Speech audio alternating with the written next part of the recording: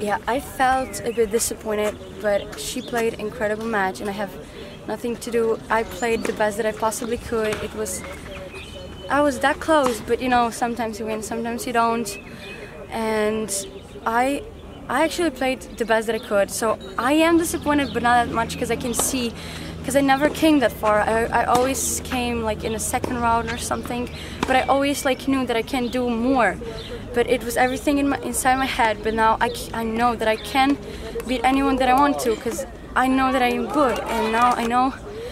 Yeah, um, I want another matches like this. It was a tough match. It was incredible. I enjoyed. Um, a bit disappointed, but also happy for me. Yeah. My first expressions were like, wow, I won the tournament and um, it was a really tough final. And it wasn't always easy for me because of course we're in Slovenia and in the finals is Slovenian so most of the crowd will be cheering for her.